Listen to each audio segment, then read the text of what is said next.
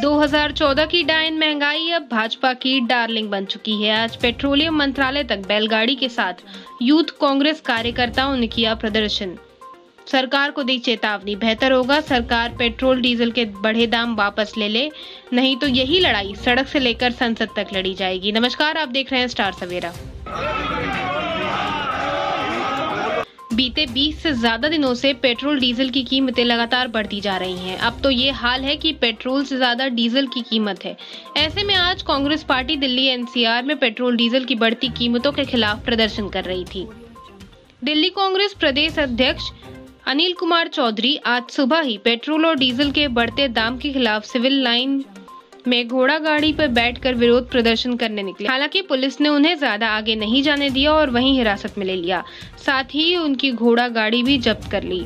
इसके साथ ही IP college के सामने भी प्रदर्शन कर रहे कांग्रेसियों को पुलिस बस में भर कर ले गई। पेट्रोल और डीजल के बढ़ते दाम के खिलाफ रायसीना रोड पर यूथ कांग्रेस के कार्यकर्ताओं ने प्रदर्शन किया। यहाँ ये लोग बैलगाड़ी और तख्तियाँ लेकर पहुँचे।